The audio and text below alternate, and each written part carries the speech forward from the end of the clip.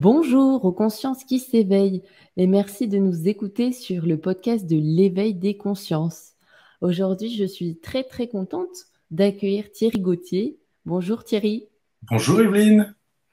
Vous êtes donc géobiologue, auteur, conférencier. Au début de votre carrière, vous étiez luthier. Vous réalisiez donc des harpes celtiques et d'autres instruments de musique anciens. Alors, on, va aujourd'hui discuter de votre ouvrage Déployer votre énergie vitale. Je le montre à la caméra pour les personnes qui ne connaissent pas. Donc, vous proposez dans ce livre des explications et des applications concrètes que l'on peut mettre en place dans notre quotidien pour bénéficier des vertus de l'énergie vitale. Alors, ma première question serait de vous demander qu'est-ce qu'est l'énergie vitale? L'énergie vitale, c'est la base de tout, de tout ce qui vit sur Terre, que ce soit les arbres, les fleurs, les écureuils, les chats, les humains, tout ce qui est vivant sur Terre est animé par une énergie. Il n'y a pas uniquement un corps physique, il y a une énergie qui anime ce corps physique. Et les acupuncteurs la connaissent bien, puisque eux drainent ou débloquent les méridiens qui, qui sont parfois bloqués. Enfin, ils font circuler cette énergie, et cette énergie qui coule partout dans la nature. On ne la voit pas avec nos yeux. Enfin, on peut la voir, hein, mais souvent on ne la voit pas. Elle, parcourt tout, elle parcourt tout, elle nous inonde et elle, nous habite et elle, crée ce qu'on appelle notre corps énergétique ou notre corps éthérique. Mmh. Et lorsque nous mourons, eh ben cette énergie, par ailleurs, nous ne sommes plus habités par cette énergie. Mais c'est l'énergie qui vraiment nous porte chaque jour, au quotidien. Nous avons besoin d'elle, c'est absolument fondamental. Mmh. Et y a-t-il plusieurs énergies? Ah, alors, en fait, il n'y a qu'une seule énergie vitale, d'où son nom, elle est vitale. On peut aussi l'appeler, dans différentes civilisations, pardon, on l'appelle le souffle de vie, puisque c'est le souffle qui, porte la vie. Euh, on a parfois tendance à dire euh, qu'une personne a une énergie, qu'une autre personne a une autre énergie, mm. ou qu'une pierre aura une énergie, qu'une autre pierre aura une autre énergie.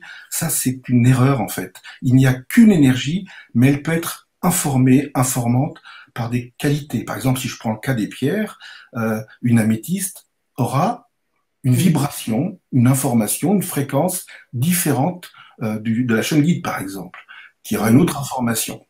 Mais ces pierres, en elles-mêmes, ne créent pas d'énergie. Pour créer l'énergie, il faut que ça bouge. Et c'est l'énergie vitale qui bouge qui va prendre l'information de la pierre et la communiquer à côté d'elles. C'est pour ça qu'on aime les porter sur soi souvent, parce qu'on dirait, elles sont directement dans notre corps énergétique. Voilà. D'accord. Il faut bien comprendre cette notion d'information, de vibration, qui, qui, est vraiment très très juste hein, pour les pour les pierres. Elles ont des grandes qualités, des grandes vertus, mais c'est l'énergie vitale de la pièce ou et de la personne, c'est la même, qui va porter cette information et apporter ses bienfaits, tout simplement. D'accord, c'est beaucoup plus clair. Merci. Hum alors j'avais une question aussi euh, en lisant votre ouvrage. Euh, les humains ont-ils tous le même rayonnement? Alors, tous les humains ont un corps physique différent les uns des autres. Ils ont aussi un corps énergétique, puisque c'est l'énergie vitale qui, qui, qui les habite.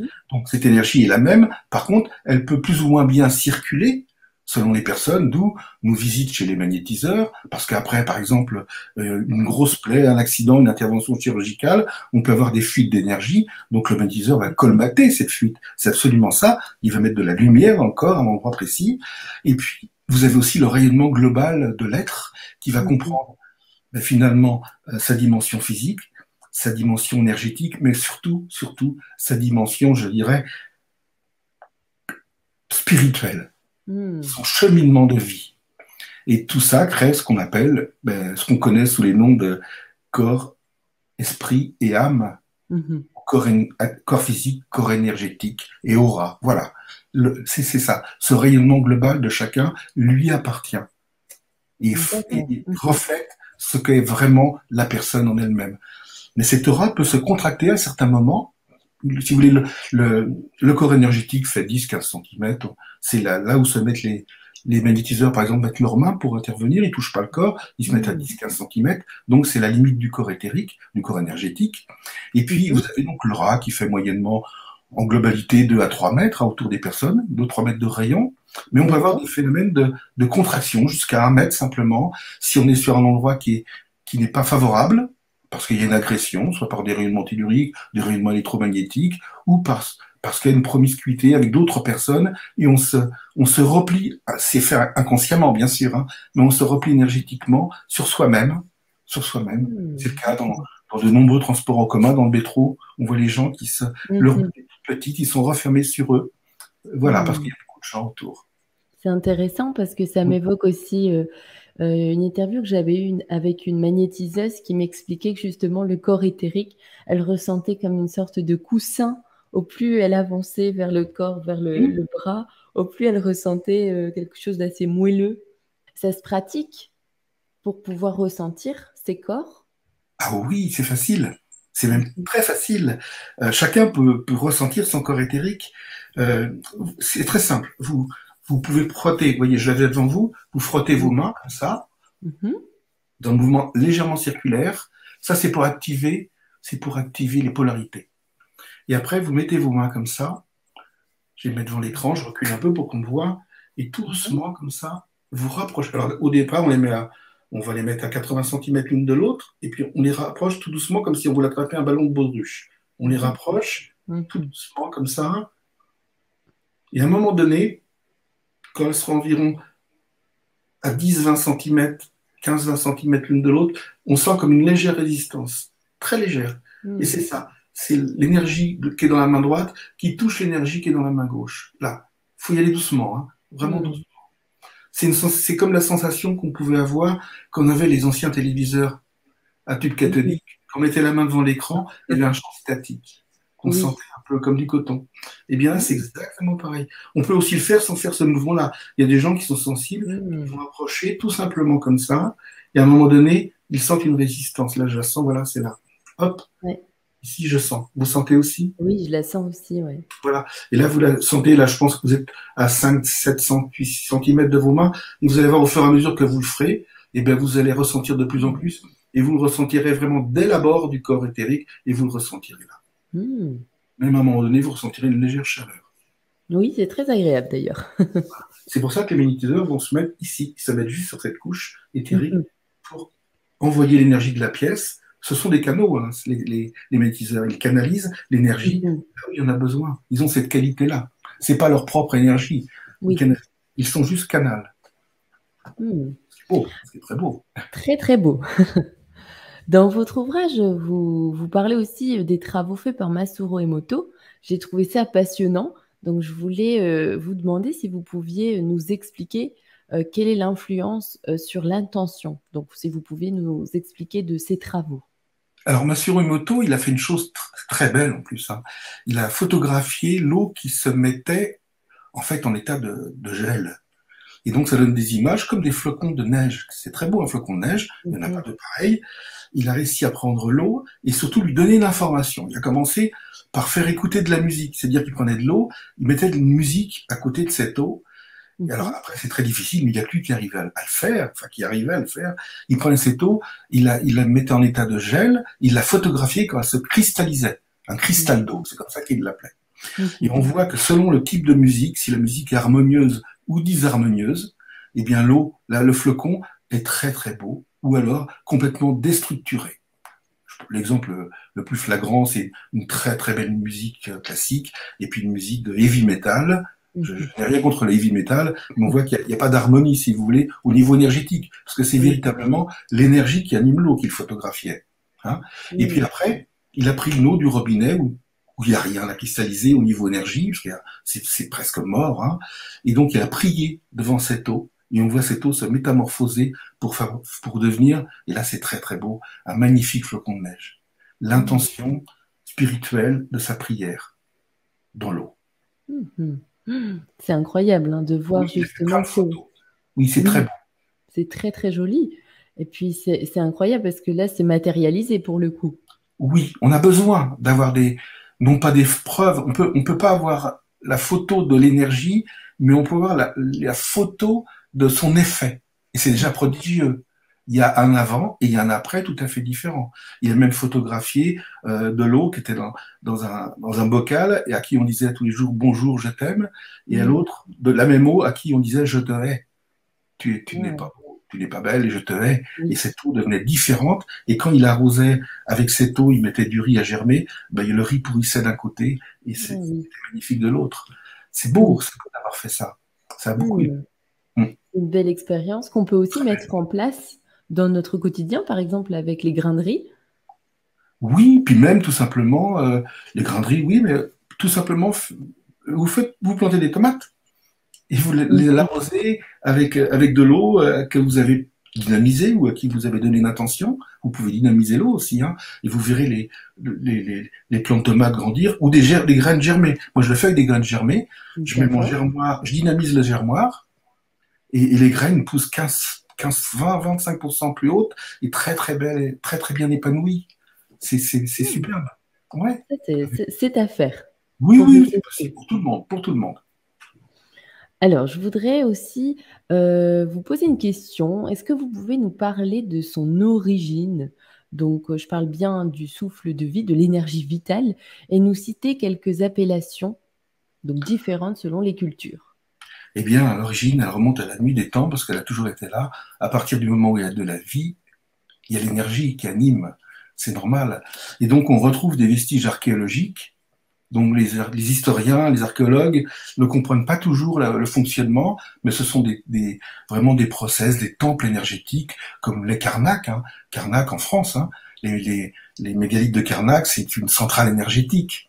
Nous, on fait des centrales atomiques, eux, ils ont fait des centrales énergétiques. Euh, pareil pour de, de, Stonehenge et de grands, de grands, grands lieux qui demeurent mystérieux aux yeux des historiens. Euh, vraiment, c'est des lieux d'énergie, c'est conçu. Quand on est habitué à, à voir le fonctionnement de l'énergie, on comprend que ces lieux sont finalement des lieux où on canalisait cette énergie pour en faire bénéficier ceux qui y venaient. Alors l'appellation diffère selon les continents. Euh, ben, le plus connu, c'est le, c'est le, bon, ben, le souffle de vie, mais le prana en Inde. Le prana, ah c'est une culture invisible. Euh, il y, a, y, a, des yogis qui, euh, qui ne se nourrissent pas pendant 15 jours et qui disent j'en ressens pas le besoin. Ils ne boivent pas, ils ne mangent pas. Alors que logiquement, au bout de trois jours, euh, on décède si on ne boit pas. Et, mm. ils, se portent, bien. Euh, mm-hmm. et c'est vraiment ça, c'est le prana. Alors le prana, les Indiens, les Amérindiens l'appellent le grand esprit ou le grand mystère. Mm. oui. Aujourd'hui, aujourd'hui, euh, à l'île de Pâques, les Pasquans l'appelaient quand, quand, les explorateurs leur disaient mais comment avez-vous, comment vos ancêtres ont-ils déplacé les les moyes, les statues? L'île de. Pâques, ben, c'est le mana, cette force le mana les a aidés à porter. Il n'y avait, avait, pas de moyens physiques. L'énergie est prodigieuse euh, parce que dans le monde invisible de l'énergie, mm-hmm. on peut être surpris quand je vais à écouter mes propos, mais les personnes que j'accueille en stage le savent. La notion d'espace-temps n'existe pas dans l'énergétique. D'ailleurs, c'est une notion qu'on découvre en physique quantique. Hein. Euh, on peut agir à distance. C'est le cas des guérisseurs qui peuvent agir sur quelqu'un à mm-hmm. distance. On peut aussi soi-même se régénérer auprès d'un arbre sans être près de l'arbre, à distance. Mhm. la notion de temps non plus n'existe pas parce que la distance n'existe plus. D'accord. Peut-être long à expliquer. Et donc, c'est intéressant. Mais oui, c'est très intéressant. Donc, eux parlaient du mana, et nous, aujourd'hui, en Occident, euh, on parle volontiers de bioénergie, on parle de mesmérisme, on en parlait de mesmérisme au 19e siècle, hein, au début du 20e siècle. Maintenant, on parle de, donc de bioénergie, de magnétisme curatif. Et tout ça, mhm. c'est l'appellation, euh, parce qu'on utilise ce fluide vital qui est là autour de nous, que nous ne voyons pas, mais qui est pourtant bel et bien présent, heureusement. Mhm. D'accord, donc la bioénergie, euh, c'est bien ce que vous disiez, c'est une appellation hein, qui est nouvelle, oui, où on utilise l'énergie vitale. Oui, oui, oui, exactement. Le chercheur le Georges Jakowski, dans les années 30, l'appelait universion. Il y a eu beaucoup d'appellations pour dire la même chose, en fait. Oui. Personnellement, j'aime bien les appellations anciennes. Le grand, le grand esprit des Amérindiens me plaît beaucoup. Parce que c'est comme un esprit, c'est vraiment dans cette dimension-là. Il y a une notion d'esprit, il y a une notion de spiritualité là-dedans. Oui. Et ça fait du bien aussi de se reconnecter à ça, à cette spiritualité. On en a tous besoin justement pour être alignés et pour vivre au mieux notre vie. Oui, être dans son axe. Oui. oui. Hmm. Alors aussi, ce qui m'avait beaucoup intrigué, c'est qu'il est dit qu'il faut faire plusieurs fois le tour des lieux sacrés pour ah. espérer une guérison. Alors pourquoi? Pourquoi Alors, dans les lieux sacrés, il y a des rituels qui sont différents. Euh, si c'est des lieux qui ont été christianisés, des rituels catholiques, c'est vrai, mais aussi des rituels, par exemple, près des menhirs ou des dolmens. Par exemple, les, dolmens, souvent, on dit à une mère de famille euh, mhm. qui a un nourrisson qui ne marche pas assez tôt par rapport aux, enfants de ses amis, de le mettre sur la pierre et de le faire rouler. Ça, c'est un rituel mais qu'on retrouve sur certains lieux chrétiens, notamment pour les fontaines guérisseuses. On dit par exemple de faire sept fois le tour. Pourquoi faire sept fois le tour? Tout simplement, c'est pour créer un vortex. À partir du moment où vous tournez, mm-hmm. quand vous tournez, vous créez un tourbillon. Et ce tourbillon va créer un vortex. beaucoup de gens connaissent l'eau dynamisée. Comment est-ce qu'on peut dynamiser l'eau? Il y a différents procédés, dont celui de prendre un bâton et de tourner, de tourner l'eau pour créer un tourbillon. Et ce mhm. tourbillon va faire que l'eau va monter en vibration, en énergie. Alors c'est pas l'eau, c'est, c'est pas l'eau qui tourne qui dynamise l'eau, c'est le vide, ça c'est très important, c'est le vide qui se crée au milieu du tourbillon de l'eau. C'est le vide qui va énergiser le plein qui est autour. C'est pour ça que c'est très important. L'énergie, c'est elle est dans le vide, elle est, elle est invisible, mais elle est dans ce vide-là, et elle dynamise ce qui est autour d'elle. Et on retrouve aussi ce geste chez les acupuncteurs. Euh, à certains moments de l'acupuncture, on met une aiguille, on la tourne, on crée un petit vortex pour débloquer des méridiens. Oui, tout à fait. Voilà l'explication sur le fait de tourner autour de certains lieux sacrés. Hmm. Oui, c'est ça, parce que hum, quand j'étais allée dans les temples bouddhistes, hein, c'est comme les. Vous en parlez aussi dans votre ouvrage, hein, euh, les, temples à prière, ou je ne sais plus exactement le nom. Les moulins à prière. Les moulins à prière. et ça, c'est très parce qu'il y a vraiment des prières qui sont gravées. c'est très très joli, et en même temps, on doit tourner et puis euh, prier pour espérer quelque chose, ou du moins lancer une intention dans l'univers mise en fait la prière. Et d'ailleurs, les moines tibétains disent que, euh, parce qu'en en fait, dans le moulin prière, il y a un parchemin sur lequel il y a une prière décrite, un mantra. Mm. Et, euh, et les moines tibétains disent qu'une prière écrite mais tournée dans le moulin, dans un certain sens, va se communiquer d'une manière aussi forte que si elle était dite oralement. D'accord. Oui, oui, oui, ça ils le disent très bien. Et, euh, et c'est une réalité énergétique formidable. Oui. Hmm. C'est intéressant aussi parce que cette notion de vide, finalement, c'est le vide qui remplit et c'est pas l'inverse. Oui. ça, je pense que c'est une notion importante aussi à souligner. Oui, c'est fondamental. Mhm. Tout comme notre corps invisible, on va dire que c'est du vide, on, ne voit rien. On voit rien. Il, nourrit notre corps physique. Et donc pour l'eau, ce tourbillon de vide, là où il n'y a rien justement, ben c'est là où se trouve la vie et elle nourrit la vie, qui est, elle nourrit la matière qui est autour, et dans le tourbillon, ça va être l'eau, quand c'est le tourbillon dans une, quand on vide son lavabo, voilà, ou, dans, un, récipient qu'on tourne pour dynamiser, oui, tout à fait. Oui. Que je fais un parallèle parce que ça m'évoque aussi euh, au moment de la méditation, finalement, c'est ne pas être dans la pensée, ne pas alimenter des pensées, mais tout simplement être présent. Donc finalement, est-ce qu'il n'y a pas ce lien avec cette notion de vide même? Vous avez raison. Vous avez raison. Donc, on se réénergise. Est-ce que vous pouvez nous donner des conseils pour apprendre à ressentir cette énergie? Ben, La ressentir, on l'a fait tout à l'heure avec, le, avec les mains déjà, pour faire une approche. Mhm. Après, vous pouvez essayer de le faire près d'un arbre, mais c'est tout à fait différent. Le, le, meilleur conseil que je vous donne, c'est vraiment de commencer avec les mains. Vraiment. Après, il y a non pas un ressenti, mais une détection pour les personnes qui ont des baguettes de radiesthésie, les baguettes parallèles, mais par exemple d'aller en pleine nature, de prendre, d'aller voir un arbre isolé, non pas en pleine forêt, parce que là c'est différent au niveau énergie, il n'y a pas, c'est une forêt et non plus un arbre. Donc il y a une communauté, les Grégor. Donc prendre un arbre isolé dans un champ et avancer vers lui et se dire avec ses baguettes à quel moment on va rentrer dans sa bulle énergétique ou aura, vous l'appelez ou sa bulle aurique. Et avec les baguettes, on peut marquer le, pour, communiquer. Et c'est une, une, façon de, aussi de communiquer, puisqu'on marque le ras de l'arbre, on rentre en relation avec lui. Mais pour mm. ressentir vraiment, le, le, plus simple au quotidien, c'est vraiment les mains. Et puis après, si vous allez dans un lieu sacré, c'est vrai, là c'est tout le corps qui va ressentir. Vous approchez d'un menhir ou d'une fontaine guérisseuse, on approche, et si on approche, mais vraiment en conscience, on mm-hmm en disant tiens, euh, j'avance et ça va être joli. Non, non. On se dit je vais sur un lieu d'énergie, je voudrais ressentir cette énergie. Et bien quand on approche, à quelques distances, on peut déjà ressentir. Oui, bien sûr. Hmm. Même, même certains, ça peut être parfois très loin. Hmm. Hmm, c'est intéressant. Est-ce que personnellement, vous faites un rituel où vous remerciez euh, cette énergie? Alors, ben, on peut l'appeler rituel, mais vous savez, quand vous allez voir des amis, vous leur dites bonjour en arrivant. et vous êtes content de les voir, après vous les remerciez, vous leur dites au revoir en partant. C'est pas un rituel, c'est un échange parce qu'il y a eu un partage. Et c'est pareil pour les arbres. Euh, je considère pas que ce soit un, rituel, un rituel c'est vraiment des, gestes très précis. Là, c'est c'est un partage.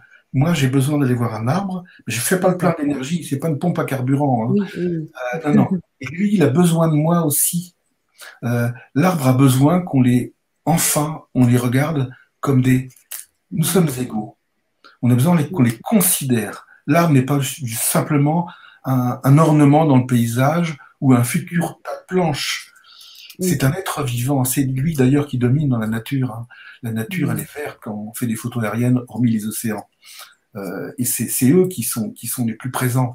Et donc, aller voir un arbre en conscience, même avec des baguettes de détection, hein, mais en disant voilà, j'approche d'un arbre pour, euh, pour communiquer avec lui et son énergie, eh bien, je peux vous dire qu'il l'entend, il le ressent. Et là, il se passe quelque chose, parce que quand la personne va se blottir contre l'arbre pour cet échange, l'aura de la personne grandit, grandit, grandit pour devenir identique à celle de l'arbre. Il y a vraiment une fusion des deux. C'est très beau. Et quand c'est terminé, l'un comme l'autre, il faut, il faut rien demander. L'arbre ne demande rien parce qu'on lui donne ce qu'il a, ce dont il a besoin, et l'inverse, c'est également la, la même chose pour l'inverse. Lui va nous donner ce que nous avons besoin et que nous ignorons parfois, mais en mhm. gros, il va nous réaxer. Oui. C'est comme un guide, en fait. Et quand on s'en va, bien sûr, on le remercie de ce, partage et on lui dit au revoir, et puis en espérant y retourner le, plus tôt possible. Et mhm. quand vous allez retourner, il va, il va vous reconnaître. Il vous reconnaît de loin, de très loin même. D'accord. Oui, oui.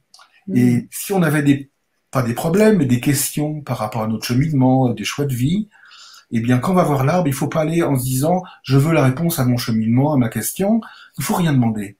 Et hmm. comme il vous réaxe, en repartant, le jour même, le surlendemain ou dans la semaine, la réponse viendra d'elle-même vous envahir. C'est vous, à l'intérieur de vous, qui aurez la réponse à votre question. Parce que grâce à lui, il vous aura réorganisé votre circulation énergétique et votre communication avec l'invisible. Hmm. C'est très beau aussi. Hein. Hmm. C'est très beau, oui. Ça donne envie vraiment de le mettre en pratique. Oui, c'est tout simple. Mhm. Il y a des arbres partout, même en ville. Oui. Ah, ça aussi. Ça, on va, on va, on va y revenir un petit peu. Euh, je voulais aussi vous demander, alors, pouvons-nous, oui, donc ça on l'avait fait, comment les mouvements de l'eau amplifie l'énergie vitale ambiante? Ben, Tout simplement, on, l'a vu tout à l'heure, le tourbillon, le vide va, va dynamiser l'eau qui est autour, mais aussi... Un vortex. Voilà, mais ce vortex, il n'est il est pas limité à l'eau, il va aussi, il va aussi euh, dynamiser ce qui se passe autour de lui. C'est pour ça qu'en dans l'agriculture biodynamique, euh, mhm on, fait des vortex avec les, vous savez, on fait des préparations avec de l'ortie, enfin plein de choses, du purin aussi, euh, et de l'ortie, et euh, on dynamise. Et, ce qu'il faut comprendre, c'est qu'une dynamisation de l'eau, qu'on va prendre pour traiter la terre, quand, quand, quand, quand on dynamise de l'eau avec une préparation à l'intérieur, on, on va ensuite jeter, enfin jeter, mettre des gouttelettes partout sur le terrain pour nourrir le corps éthérique de la terre faut, faut que ça dire, on lui envoie de la lumière. Mais il faut bien comprendre que la dynamisation, ça se fait pas en une seconde. Pour qu'une dynamisation euh, dure deux à trois heures, que l'eau garde cette énergie pendant deux à trois heures, il faut tourner pendant une heure. Ah oui, quand même, ouais. Oui, oui, oui. Et on tourne dans un sens et on retourne dans l'autre après. Il faut les deux mouvements. Hein. Alors une dynamisation n'est pas de courte durée. Jamais. Donc il faut, faut, vraiment prendre le temps que le tourbillon se crée et, mhm qu'il puisse dynamiser véritablement. Ça se fait pas en 5 secondes, c'est impossible. D'accord. Voilà. Hmm. C'est intéressant aussi. Vous expliquez de toute manière vous donnez plein de conseils, euh, de choses pratiques, et ça me fait penser aussi euh, à la bouteille d'eau euh, finalement qu'on place quelque temps devant le soleil. Vous en parlez aussi, c'est quelque chose que j'ai que j'ai fait, que j'ai mis en pratique, mmh. mais je l'avais jamais fait. Et vous expliquez bien aussi l'importance hein, de, de, mettre ça dans une bouteille en verre et non en plastique. Oui, c'est pour une raison très physique. Hein. Dans le mmh. plastique, il y a des phtalates, des composés chimiques qui permettent au, au, plastique d'être plus ou moins souple. Hein.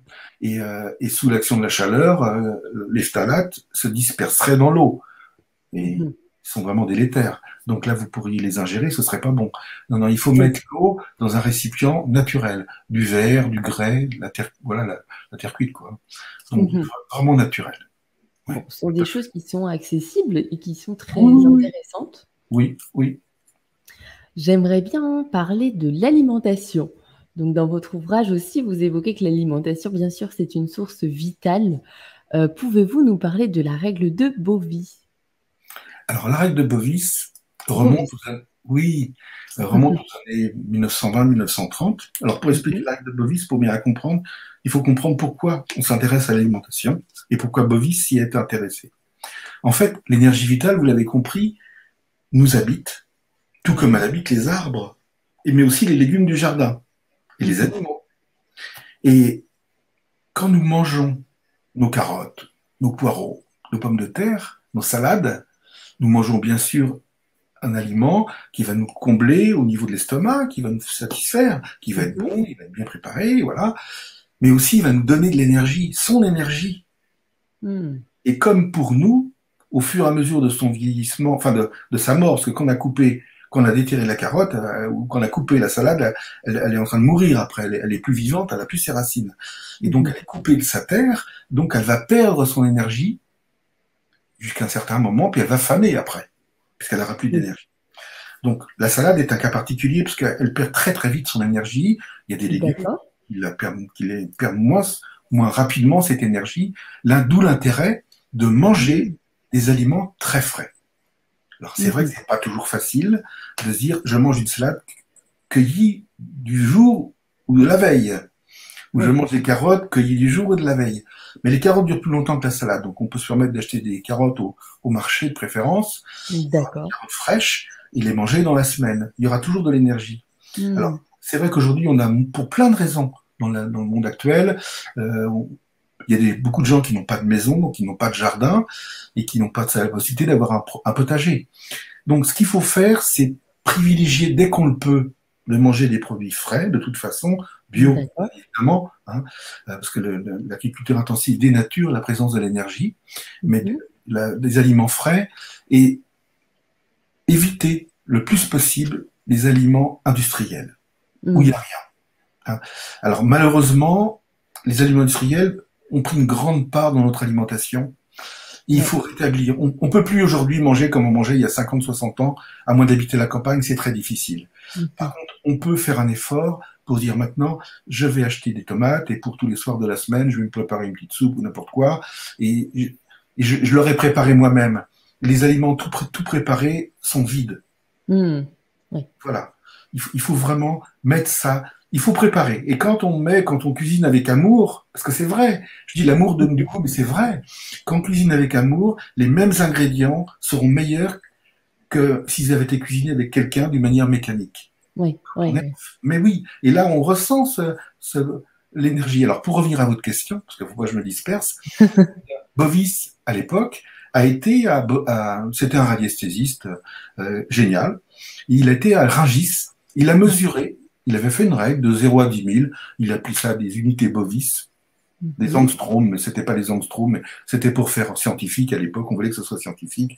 On va dire des unités bovis. Il a mesuré l'énergie des, aliments. Il mettait l'aliment, il mettait sa règle à côté, il voyait jusqu'où l'aliment rayonnait. Et donc la règle de 0 à 10 000, il considérait qu'à 6 500, l'aliment était bien. Il avait son énergie, au-dessus, c'était des aliments supérieurs, comme le miel, la gelée royale. Et en dessous, il y avait les aliments de soutien, de 4000 à 5005, 6000. Les aliments inférieurs, 1000, 2000, 3000. Et puis les aliments morts, 0, 0 à 1000. Et donc, il a tout mesuré, mais des centaines, hein, j'ai son tableau d'origine, hein. et les boîtes de conserve, et les fruits pourris, les légumes pourris, les poissons pourris, c'est zéro. Les boîtes de conserve. Ah oui. Les boîtes de conserve. Il faut faire attention à ce qu'on mange. Et puis les aliments frais, ben, c'était 6005. Et puis après, il y avait les aliments qui étaient un peu moins frais, et puis ça descendait. Il, avait, euh, à l'époque, d'une manière radiesthésique, il n'y avait pas de preuve scientifique, commencé à, à, mettre le doigt, et c'était juste ce qu'il avait dit, sur ce qu'on a plus tard, on découvrirait visuellement avec la photo Kyrian, et puis aussi avec les motos dont nous avons parlé. Oui. Mais c'est aussi euh, important ce que vous disiez. Donc, juste avant, je voudrais revenir sur euh, ce que vous disiez, euh, la différence de cuisiner aussi. on parlait tout à l'heure hors caméra de l'intention. Mm. C'est vraiment ça. Par exemple, quand on cuisine, émettre une intention d'amour, et inconsciemment. Mais ça se fait inconsciemment. Oui. Oui, il faut pas que ce soit intellectuel. Il faut pas se mhm. dire je mets de l'amour parce qu'il faut mettre de l'amour pour que ce soit meilleur. ça, ça marche pas. C'est le cerveau, c'est le mental. Lui, il a rien à voir avec tout ça. Mhm. C'est le cœur. C'est notre cœur, c'est l'émotion. Et quand, quand on aime cuisiner et qu'on reçoit quelqu'un et qu'on se dit je vais pouvoir lui offrir à manger et on va partager un bon moment. Je, je souhaite qu'il apprécie le repas que je vais faire pour cette personne mais alors vous sublimez complètement. Alors il y a mm. peut-être la recette, la qualité des aliments, bien sûr, mais vous avez vous apportez quelque chose que le marchand de légumes ne vous a pas vendu. C'est votre intention, mais votre intention d'amour. Oui. Et là, c'est vrai, et, très sincèrement, ça change le goût. Vraiment, ça change le goût. J'ai connu ça, hein. des, des, des, plats, ne serait-ce même des carottes râpées, cuisinées avec amour pour faire plaisir, mais les, les gens étaient émerveillés de voir le goût qu'elles pouvaient avoir chez moi, les carottes râpées ne sont pas aussi bonnes. Alors, c'était peut-être pas les mêmes carottes, mais il y avait autre chose. C'était ça. Ouais, oui, oui. C'est incroyable. Ça donne envie de cuisiner pour, euh, pour les autres, pour soi aussi, pour la famille, pour les amis. L'amour donne du goût. Je dis ça, l'amour donne du goût. Et, euh, et Goethe disait euh, La matière n'est rien, c'est le geste qui l'a faite qui compte. Hmm. Alors ça va être valable pour les sculptures, pour plein de choses, mais moi je le mets aussi pour l'alimentation, parce que le mhm. geste, c'est de transformer un, légume, par exemple, pour en faire un plat. Et donc dans cette transformation, il y a le geste. Oui. Mhm. Hmm. Très intéressant, ça donne envie de manger. aussi. De cuisiner. Alors, donc tout à l'heure, nous discutions justement de l'alimentation qu'est-ce qu'on peut mettre en place? Donc là, vous nous expliquez aussi, hein, afin d'avoir une alimentation forte en énergie, euh, aller donc au marché, euh, éviter tout ce qui est boîte de conserve, mais quoi d'autre? Est-ce que vous auriez d'autres conseils? Ben, Conseil, c'est toujours privilégier le frais. Euh, mmh la conserve vraiment le, plus rarement possible. Le congelé, je, je n'en nie pas, mais le congelé doit être utilisé à bon escient. C'est-à-dire, c'est vrai, c'est pratique, hein, on est bien d'accord. Ça, mais ça doit rester euh, secondaire. D'accord. Il faut vraiment privilégier le, frais. Et d'ailleurs, les quand, pour revenir aux aliments, on s'en rend parfaitement compte.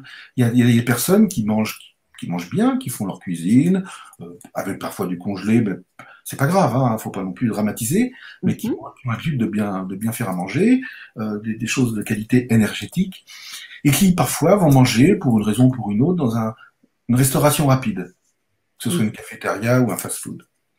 Et souvent, ces personnes-là, une heure après avoir mangé, ont faim. Hmm. Pourtant, ils ont bien mangé.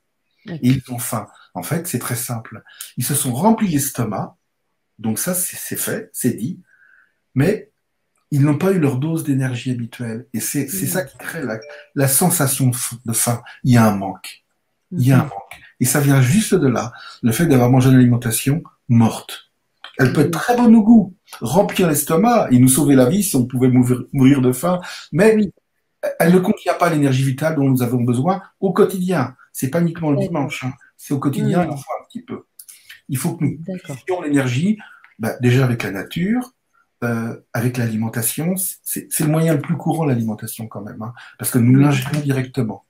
Donc en mangeant une bonne salade, elle nous nourrit physiquement, ou une carotte, hein, peu importe, et mhm. elle, nourrit aussi énergétiquement. Ça, c'est très important de le comprendre. Oui. En revenir un petit peu aux arbres, tout à l'heure nous en discutions. Est-ce que vous pouvez nous parler des arbres à loques? Ah, les arbres à loques, appelés aussi les arbres à chiffon. Alors, c'est des arbres, en fait, qui sont, entre parenthèses, sacrés. Euh, il y en a en France, il y en a en, en Irlande, il y en a encore en Cornouaille anglaise, il y en a un peu partout hein, sur la Terre, mais dans, dans, nos régions, voilà, c'est là où on les trouve le plus souvent. Il y en a, alors en France, c'est notamment dans le Nord, en Normandie, en Bretagne. Et euh, ce sont des arbres où les gens viennent, apportent un morceau de tissu d'une personne qui est malade. Mmh. Ils accrochent, alors il y en a qui sont réservés aux, jeunes nourrissons, mais ça peut être aussi pour toute, euh, toute la vie, hein, pour des gens plus âgés. Ils accrochent le morceau de tissu à une branche de l'arbre. D'ailleurs, c'est joli parce qu'on voit l'arbre comme un, un peu comme un sapin de Noël avec plein de, de, de petites de bouts de chiffon partout. Certaines datent plusieurs années. Hein. Euh, et donc, l'arbre serait censé, mm-hmm. c'est ce que disent certains, et, moi je suis d'accord, hein, euh, guérir la personne qui porte le vêtement. En fait, c'est complètement énergétique et ça marche dans certains cas, bien évidemment. Ça peut pas marcher tout le monde, parce que ça, pour tout le monde, mais ça se saurait. Mais si les gens continuent à le faire depuis des millénaires, parce que c'est, alors les arbres n'ont pas plusieurs milliers d'années, mais au fur et à mesure, ils sont, ils sont remplacés hein, par d'autres qui poussaient à côté. Les, si les gens viennent depuis plusieurs centaines d'années, hein, certains ont, même parfois 5 600 ans, euh, mm-hmm. c'est que ça marche, sinon on n'irait pas. Et donc, il faut comprendre la, la logique, comme l'énergie ne connaît pas la distance. Oui. On parle comme en musique de, de vibrations sympathiques. C'est-à-dire en musique, si dans une pièce, vous avez une harpe, une guitare, et un piano, si vous jouez le La sur le piano et que le piano est parfaitement accordé au même diapason que la guitare, la corde de la guitare, la corde de La, va se mettre à vibrer toute seule, par effet de résonance. Hmm. Et donc on, a, on dit que c'est une vibration sympathique. Eh bien pour l'arbre, c'est pareil. Il va vibrer en énergie, il va se mettre en relation avec la personne qui peut être à 300 km, parce qu'une autre personne aura apporté un bout de son vêtement qui lui est porteur de l'énergie de la personne. Quand vous portez un vêtement pendant des, semaines, des mois ou des années, eh bien, le vêtement comme un bijou, on parle toujours de la mémoire des bijoux, d'une personne qui a porté une bague, mais c'est normal, elle, est, elle vibre avec la fréquence de la personne. C'est pas forcément négatif, hein, parce qu'on parle toujours d'une mauvaise mémoire. Mais non, il y a des bonnes mémoires, mais c'est la fréquence propre de la personne. Donc, si vous apportez un morceau de tissu de son vêtement, l'arbre, qui est un arbre qui a un pouvoir énergétique qui est amplifié en plus. Mhm. Les gens qui viennent, les centaines de personnes qui viennent depuis des siècles pour lui demander ces guérisons-là, ben là, l'arbre a pris cette vertu de guérison et va pouvoir énergiser à distance, grâce à ça, la personne qui en a besoin. Hmm. Hmm. Wow. Donc, il faut aller plutôt en Normandie ou dans le Nord. C'est ça plutôt pour. Il y en a peut-être ailleurs. Hein. Moi, j'en connais, il y en a qui sont connus en Normandie, en, dans le Nord, et en Bretagne aussi, j'en connais, il y en a quelques-uns. Il faut chercher sur Internet arbre à loc, les locs, et ou alors arbre à chiffon, ou arbre guérisseur. D'accord. Eh ben, c'est passionnant. Ça donne envie d'aller voir justement et d'expérimenter. Ben oui.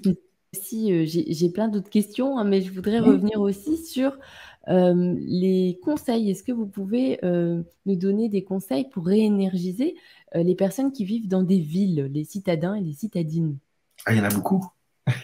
Et ils ne peuvent pas être sans énergie non plus. Alors, il n'y a pas que les gens qui vivent à la campagne, en province, qui ont le droit à l'énergie. En ville, alors c'est vrai qu'il n'y a, a, pas la forêt comme on peut avoir en campagne, ou les champs, mais il y a aussi, il y a quand même des végétaux. Donc, d'abord, on va dire qu'au lever, il faut se dire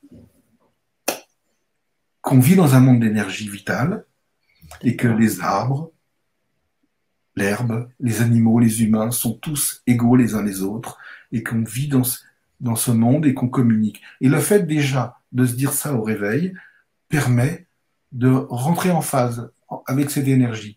Une vibration sympathique, elle démarre comme ça. Et puis après, dans la journée, alors, si on reste chez soi, il y a des gens qui ne peuvent pas sortir pour X raisons, parce qu'ils sont médicalisés, alités chez eux ou autres, ou ils n'ont pas la possibilité de sortir, eh bien, vous pouvez vous mettre à votre fenêtre mm-hmm.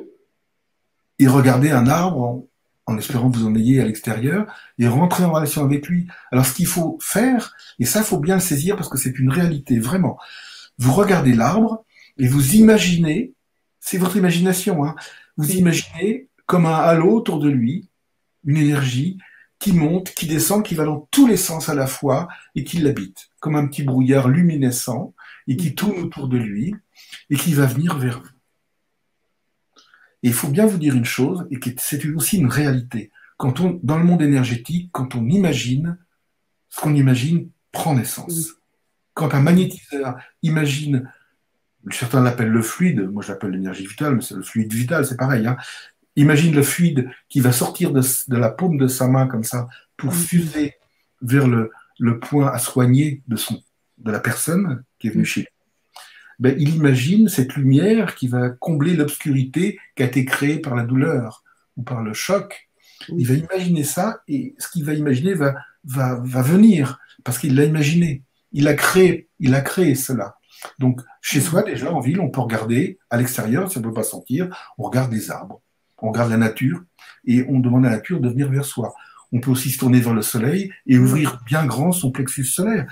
Plexus solaire, c'est la porte au soleil. Donc on se tourne vers lui et puis on l'ouvre, quitte même à tirer sur son torse pour ouvrir comme ça, pour que ça passe bien. Et puis après, si on a la chance de pouvoir se déplacer, même pour aller prendre le métro ou le bus, eh bien dans le parcours, on peut croiser des arbres alors, on va pas s'arrêter sur le bord de la, rue parce que c'est remarqué, mais en, marchant, on voit au loin l'arbre à 20 mètres, 30 mètres, et puis, euh, et puis on se dit, ben, j'approche, je vais passer devant toi, et je suis content de te croiser, et j'aimerais bien que notre l'énergie euh, fusionne, de, et vous, vous passez, et l'arbre sera heureux de vous voir passer. Nous, on est heureux de le rencontrer, et ça fera une petite rencontre matinale, et on passe, et au passage, hop, il y a une fusion qui s'opère, Pareil pour des jardinières avec des fleurs, si c'est l'époque où il y a des fleurs. Tous les végétaux sont liés les uns avec les autres et on peut butiner, je dirais, de l'un à l'autre comme ça pour se drainer en énergie, euh, la, prendre en nous. Si vous marchez et que vous passez au-dessus d'un pont, arrêtez 10 secondes, 20 secondes sur le parapet et regardez les tourbillons de l'eau, les mouvements de l'eau. C'est les mêmes que ceux que lorsqu'on dynamise, ils donnent naissance, et ils sont naturels ceux-là, ils donnent naissance à de l'énergie restez sur votre pont, regardez et visualisez l'énergie du tourbillon ou du mouvement de l'eau. C'est toujours ondulant. Dès que ça mhm. ondule, l'essence a de l'énergie. Imaginez cette énergie qui vient vers vous. Vous pouvez l'imaginer rentrer par votre plexus solaire. C'est une porte ouverte. Hein. Mhm. Imaginez la rentrée. Et ça va vous, ça va vous combler. Il y a, plein de solutions. Euh, passer dans une rue commerçante à un moment donné, ça ne veut pas dire qu'il faut rentrer dans les magasins, mais le fait de passer, c'est une rue active parce qu'elle est commerçante, il y a des magasins et des gens qui s'activent pour mettre en place plein de choses pour les vitrines et autres, ou pour recevoir la clientèle, eh bien le, dynamisme de cette rue, ben, vous pouvez vous dire, je veux être nourri par ce dynamisme. Ça ne veut pas dire qu'il faut rentrer dans chaque magasin, mais le fait de la traverser, c'est un côté très yang. Et après, vous irez dans une rue moins yang pour, voilà, pour calmer tout ça, mais vous aurez vécu ça et ça vous aura nourri. Il y a, il y a plein de façons, plein de façons qui dans le, dans le livre. Oui, que quand on pense euh, à cette euh, dynamisation, au début, euh, je pensais aux forêts, aux végétaux, mais comme vous dites, on peut aussi se faire une petite pensée pour recevoir l'énergie, comme là, dans une rue passante. Et ça, je ne pensais pas. C'était possible. parce que c'est vraiment ça. C'est une petite pensée intérieure. Ce C'est pas des grands mouvements. C'est quelque chose de très discret, très humble. Mais c'est mhm. là que tout se tient. Mais c'est bien de le faire parce qu'en fait, euh, le mode de vie dans lequel on vit, on vit hein, très, vraiment, il est tourbillonnant. On en a parlé tout à l'heure avant. Mhm. C'est vraiment un tourbillon et on, est pris par le travail, par les préoccupations, par plein de choses et on se déconnecte de plus en plus. Et vraiment aujourd'hui, on remarque, il y a comme une famine énergétique. Ouais. Et ce manque d'énergie crée des vraiment aboutit jusqu'à à des comportements, ben, je, je, dirais, non pas de désespoir bien évidemment, mais de, de pessimisme et peut au quotidien euh, nuire, euh, bloquer certains projets, nous empêcher d'aller plus loin. Et, et, favoriser, si on manque d'énergie, euh, ben, si on a un souci de santé bien physique, il peut se développer davantage puisqu'il est pas le corps physique est moins soutenu par l'énergétique. Il mm-hmm. faut, faut, faut, se rendre compte de l'importance de ça. On a besoin de cette énergie pour être bien physiquement, mais aussi mentalement et spirituellement. Hmm. Pour ça que tous les lieux spirituels étaient sur des grands lieux d'énergie. Oui, oui, oui. Ça aussi, euh, oui, c'est vrai que même les temples bouddhistes, bah, je reviens à ça parce que j'avais discuté avec un monsieur qui, qui m'expliquaient qu'ils avaient fait appel hein, à une personne pour justement calculer la fréquence énergétique. Et j'ai trouvé ça incroyable parce qu'on se sent tellement bien dans ce lieu. On est porté, on est porté par l'énergie, comme elle est très forte, et on est tellement porté qu'on peut accéder à des niveaux de conscience supérieurs. Mhm. Difficile de rentrer en méditation, enfin, moi je n'y arriverai pas, mais dans, euh, au, milieu d'un boulevard avec plein de gens et de voitures. Le oui, tout ça, ça serait bousculé. On a besoin d'une sérénité. Et si en plus la sérénité euh, vous porte parce que l'énergétique est très très élevée, le temple, qu'il soit bouddhiste ou autre, ben on, peut accéder à des niveaux euh, assez élevés. Après, ça dépend de chacun. Vous parlez aussi des voleurs donc d'énergie. Ah. Je voulais savoir qu'est-ce qu'un voleur d'énergie et est-ce qu'ils sont conscients? Heureusement, en, plus, en général, non. Heureusement, des personnes très sympathiques. En fait, les voleurs d'énergie, c'est des gens qui, euh, qui ont, c'est inconscient hein, pour la plupart, ont besoin de l'énergie des autres. Ils s'alimentent, eux, bien sûr, avec les arbres et l'alimentation, mais ils s'alimentent avec les autres personnes qu'ils vont rencontrer. Alors, il y a, le, cas le plus courant, c'est le couple qui dort dans un lit, et puis il y a une personne des deux qui a une personnalité qui fait que la nuit, il va envahir l'énergie de l'autre, parce qu'il y a une fusion quand deux personnes dorment. Les auras sont l'une dans l'autre, hein. même les corps éthériques se touchent. Hein. Et il y en a une qui, pendant son sommeil, ben, va pomper. Hmm. C'est pas un vampire, hein. va, pomper l'autre. Et, euh, et l'autre, euh, ça, va, ça va lui venir. Donc la solution est très simple. Ça ne veut pas dire qu'on s'aime plus, mais on peut très bien avoir deux lits jumeaux. Je ne vais pas séparer les couples, hein, mais ça peut arriver. Il n'y a, rien de négatif. Après, il y a ceux que vous allez rencontrer, vous vous promenez, euh, vous allez faire vos courses, vous croisez quelqu'un qui a des soucis. Et la personne va, vient vous voir, et ça, il y en a plus d'une et plus d'un qui en ont fait l'expérience, et la personne vous déverse tous ses soucis. Ah vous, vous étiez en pleine forme avant de le voir, ou de la voir, et puis après, hop, vous êtes complètement laminé. En fait, qu'est-ce qui se passe? La personne inconsciemment sent que vous êtes sensible, mais c'est inconscient de sa part. Il sait que vous êtes sensible et vous pouvez être une superbe éponge. Hmm. Il vient vous voir, tout comme un voyageur viendrait avec ses valises pour vous donner ses valises les plus lourdes. Ah et après, il repart après, tout léger, et vous, vous avez ses valises. Alors, comment est-ce qu'on peut faire pour éviter ça? Eh bien, alors, on en a parlé tout à l'heure, la meilleure solution, mais elle est difficile, surtout pour les gens sensibles, c'est de dire non. Mm. C'est pas facile de dire non. Mais il faut s'entraîner. Par exemple, quand on est en un démarchage téléphonique, quand quelqu'un vous appelle, c'est souvent à l'heure de table, pour vous proposer quelque chose, dites non, vous me faut oser dire, vous me dérangez. Mm-hmm. Vous me dérangez. C'est pas facile. C'est une façon de s'entraîner. Autrement, l'autre façon, quand vous avez quelqu'un que vous connaissez, hein, puisqu'elle vient vous voir, cette personne, ben vous, vous écoutez, mais en écoutant, vous créez une bulle autour de vous, comme si vous étiez au milieu d'un œuf, une sorte de bulle de lumière qui est faite pour empêcher les valises, en fait, les, soucis, les problèmes de l'autre, de venir, ces miasmes énergétiques, de rentrer dans votre énergie à vous qui est pleine de lumière. Hmm, vous faites de la visualisation. Il faut la visualiser. Alors, entraînez-vous d'abord chez vous pour le faire rapide. Ce n'est pas quand la personne est là que vous allez démarrer. Ah oui, c'est pas Pour la première fois. Mhm. Entraînez-vous à, visualiser.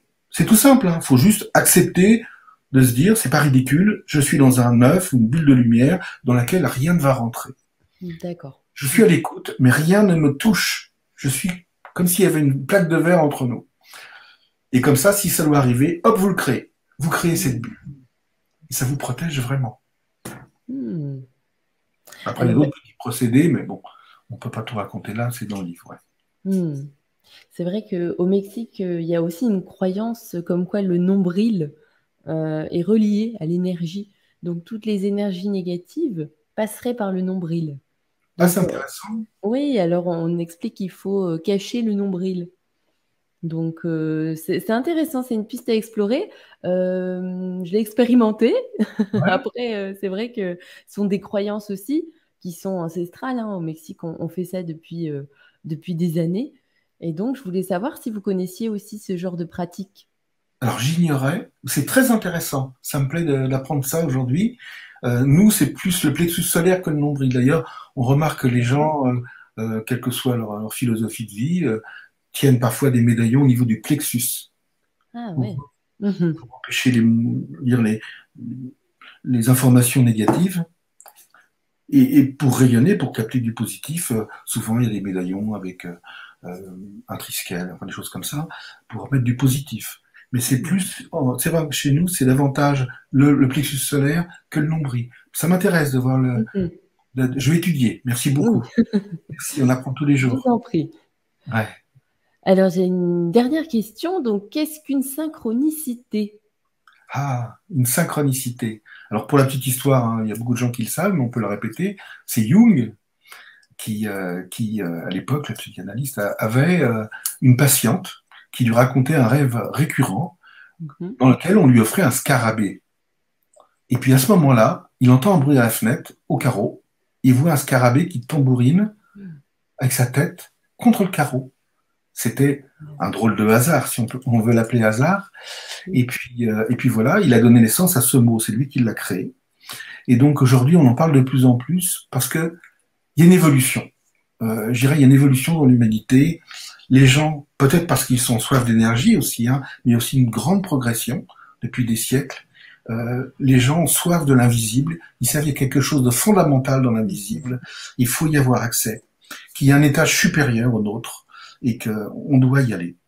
Et, euh, et donc, il remarque beaucoup, de plus en plus de synchronicité. Et ça, c'est bien de le remarquer. Parce qu'on en avait peut-être auparavant, mais on les remarquait pas forcément. La synchronicité, c'est quand on est dans son axe, qu'on a trouvé son chemin de vie, Oui. eh bien, euh, un, événement en correspondance directe avec ce qu'on pense ou vers où on veut aller Oui. nous arrive comme ça, mais brutalement. Et ça nous encourage à aller plus loin, parce que c'est pas dû au hasard, c'est impossible. Mhm. C'est l'énergie qui se met à vibrer d'une manière, je reviens à mon mot de musique, sympathique. C'est une vibration sympathique Mhm. une résonance. Quand on est en résonance avec l'énergétique, eh bien, ça veut dire qu'on est dans, sa, dans son axe, non, son axe, pardon, qu'on est juste. Il m'est arrivé une fois une synchronicité, comme à plein de gens, hein, mais celle-là m'a- vraiment beaucoup marqué. Je lisais une fois un livre sur les coutumes des, des Indiens d'Amazonie, sur leur tradition. J'en lis pas tous les jours, c'était une semaine, ça durait une semaine, c'était très particulier.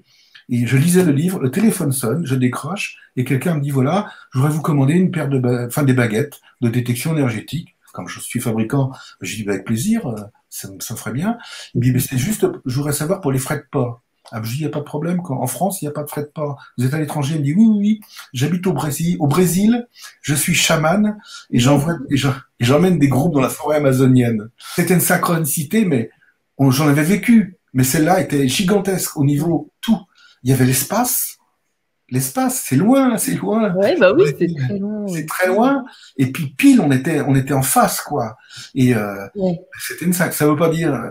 Ça, ça, ça veut surtout dire que, eh ben voilà, on, est rentré en relation. J'ai pas revu, j'ai pas vu ce, ce monsieur, hein, mais on est ren- rentré en relation vibratoire parce que lui était chaman, donc il avait un rayonnement, je pense, très fort. Moi, j'étais dans mon livre sur la tradition des Indiens d'Amazonie, et paf, on est rentré en contact comme ça. Hop, Mhm. c'est deux diapasons qui sont à l'unisson à un moment donné, et ça nous Oui. fait comprendre qu'on est dans l'axe. Moi, ça m'a beaucoup aidé personnellement. Oui. À Mhm. savoir aussi qu'on est, qu'on est au bon moment, au bon endroit et qu'il faut continuer. Qu'il faut continuer surtout. Mhm. C'est-à-dire que le chemin, voilà, on a fait le bon chemin, il faut continuer, il n'est pas fini, mais ce sont des panneaux indicateurs. Parfois, ça va plus loin. Ça peut nous donner une direction. D'accord. Ça peut nous donner une direction. Par contre, il faut l'interpréter de manière simple. Je dirais, il faut aller à l'essentiel. Il faut pas l'intellectualiser. Mhm. Par exemple, si un, si un Indien, un Amérindien est perdu dans la forêt, euh, il y a deux chemins. Il va, il va voir un, un oiseau, ou un lapin, peu importe, un animal, prendre un des deux chemins. Il va se dire, je suis ce chemin-là. Mhm. L'occidental, lui, il aura tendance, en Occident, on a tendance à vouloir interpréter. On va voir un animal et on va se dire, que symbolise pour moi cet animal? On va trop loin. Non, non, il est là, juste là pour nous montrer une direction. D'accord.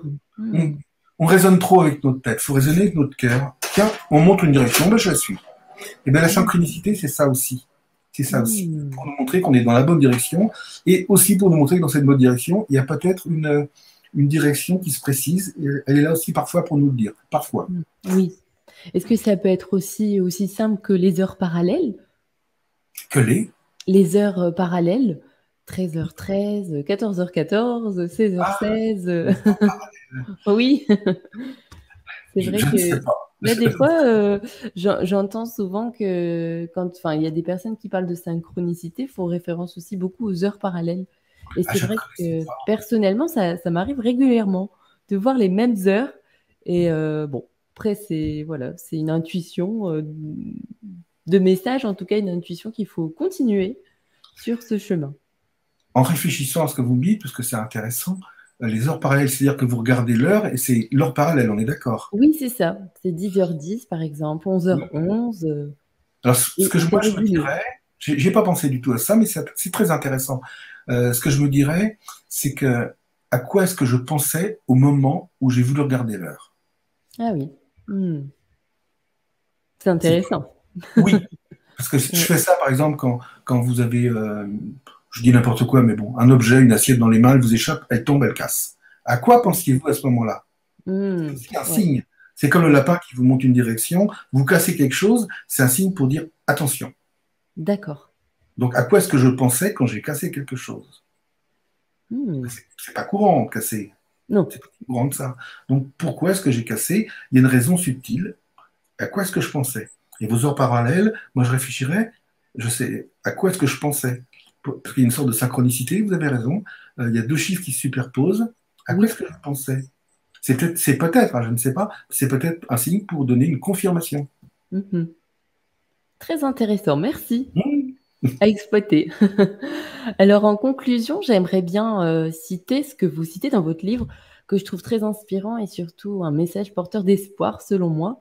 Alors seul le monde physique est fermé, le pouvoir de l'énergie est quant à lui infini. Oui, heureusement. Heureusement qu'il est infini. le monde physique, il est limité à, notre cerveau, en fait. Euh, on, se crée des, limites, déjà avec l'espace et le temps, alors qu'en énergétique, il n'en est rien. Euh, l'espace, on l'a vu avec l'histoire du chaman amazonien, hein, enfin du Brésil, mais euh, l'espace n'existe pas et c'est les soignants aussi, les soigneurs en, énergétique le savent bien. C'est et l'énergétique est tellement fort qu'il peut guérir le physique. On parle de miracles. Oui. Des, miracles, il y en a tous les jours. Euh, l'homéopathie, pour moi, c'est l'homéopathie, l'acupuncture, euh, tout ça, c'est miraculeux. Mm Le mot peut paraître fort pour un croyant, mais c'est-à-dire qu'on va dépasser le physique et on va le nourrir par l'énergétique. Et si on en est convaincu, si on a foi, que ce soit dans la religion ou dans le geste qu'on va vivre, eh bien on amplifie, parce que l'amour est un amplificateur incroyable. Alors, on parle d'effet placebo, mais c'est le placebo, euh, le, mot est bien parce que c'est merveilleux de pouvoir s'auto-guérir. Mais dans le placebo, il y a l'amour. Il y a l'amour de ce qu'on a envie de vivre, parce qu'on est convaincu que ça va marcher. Et ça, c'est formidable. C'est pour ça qu'il n'y a pas de limite et que l'énergétique, il est incommensurable par rapport au physique. Hmm. Voilà ma petite réponse. Eh bien, merci beaucoup Thierry pour euh, cet enrichissant partage. J'invite bien sûr toutes les personnes euh, à lire euh, l'ouvrage Déployer votre énergie vitale. J'ai pris beaucoup de plaisir à le lire. Et j'ai commencé à mettre en pratique certaines choses, donc je n'hésiterai pas à vous faire un retour aussi, parce que c'est vrai que ça, ça aide, je trouve, dans son cheminement. Euh, des fois, on se sent un peu en manque d'énergie, euh, surtout en ce moment. Euh, on, a beaucoup de comment dire d'informations qui sont pas forcément porteuses d'énergie, mais au contraire dans l'actualité. Donc c'est pour ça aussi que je pense que c'est vraiment important de concentrer son énergie vers des choses qui nous font du bien et qui nous permettent de se sentir vivant. Donc merci encore. Et puis c'est vrai que je j'en avais pas parlé au début. Vous avez votre atelier. Est-ce que vous pouvez nous en parler aussi? Alors, euh, oui, un atelier de fabrication. Je réalise des, des, des, instruments de, non plus de musique maintenant, mais des instruments de détection énergétique. Donc ça va du pendule, euh, en passant par la baguette euh, de sourcier traditionnelle, la furcelle en forme de, de fourche, mais aussi les baguettes parallèles, les lobes en Hartmann. Il y a beaucoup de choses qui sont utilisées en jeu biologie, en radiesthésie. J'ai aussi un instrument pour les, les gens qui font de la médecine énergétique. Et euh, ça me passionne parce que j'aime travailler avec mes mains, avec des beaux matériaux, des, des bois de qualité. Alors j'aime un bel... C'est comme un instrument de musique. Il faut que ce soit beau et en accord. Je des instruments de détection qui sont en résonance avec la détection, comme un diapason. C'est ça qui m'intéresse. Et vraiment, je suis heureux de le faire. Je suis Hmm. vraiment très heureux. Hmm. Ça se ressent. L'énergie passe. Super. Eh bien, merci encore et merci aux consciences qui s'éveillent de nous avoir écoutés. Et puis, je vous invite bien sûr euh, à partager cette interview aux personnes à qui ça peut intéresser, un ami, la famille, peu importe. Et aussi, vous pouvez vous abonner euh, sur la chaîne pour suivre aussi les, les prochaines interviews. Merci. Bonne journée. Au revoir. Merci Evelyne.